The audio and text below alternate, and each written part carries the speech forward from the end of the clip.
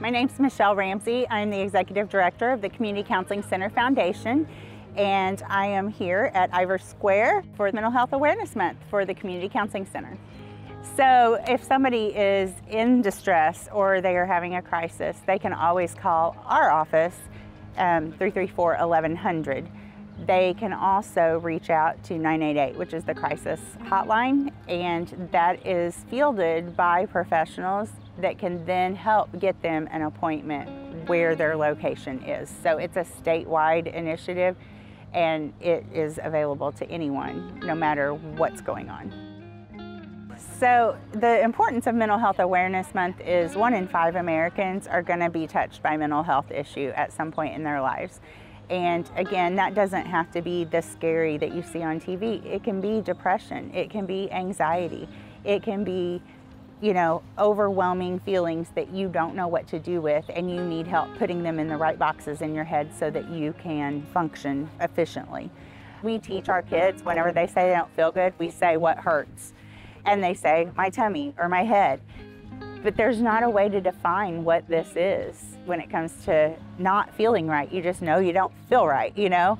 And so we're just excited that we have a place that people can come to receive help and to guide them through that. And maybe it's just hanging out with the, a peer support specialist and listening to them share their story and making you feel comfortable to share yours there's just so many things that it encompasses. So for us, breaking the stigma of not feeling like you can talk to someone or not wanting to share because you're embarrassed or being afraid that you might not get a job if somebody knows that you have that. Those are very real things that happen. And so the more awareness we can raise to Mental Health Awareness Month, obviously it doesn't need to just be a month, it needs to be year round, but we got to start the conversation somewhere.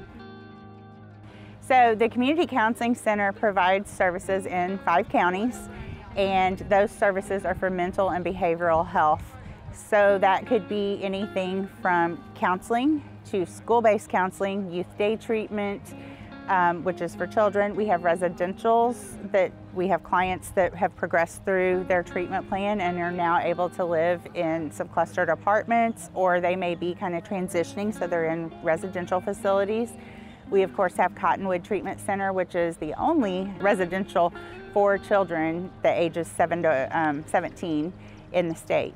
And so we have, um, I think, 16 beds available there. And so those kiddos may be from here, but they may be from, you know, across the state.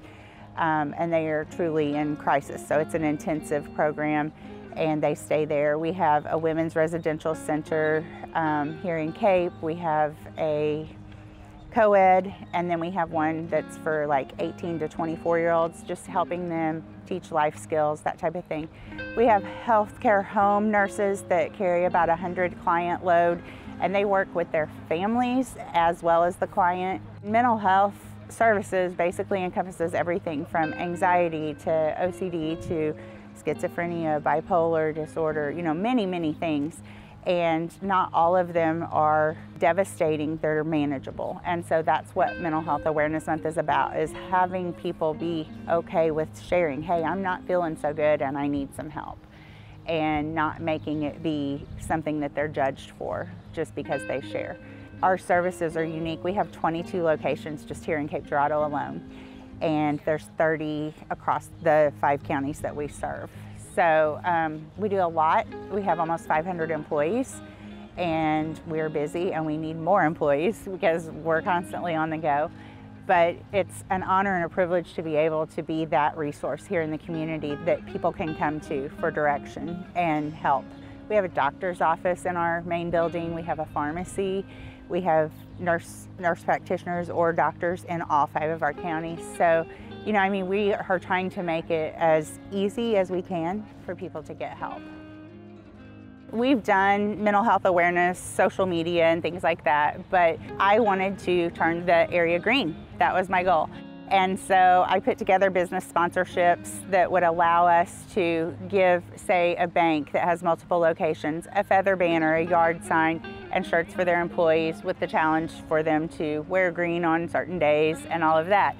And from that, it kind of blew up and got larger. And so I have been able to partner with the City of Cape. They've been wonderful to work with us and they have accommodated us with feather banners that say mental health awareness in the different parks.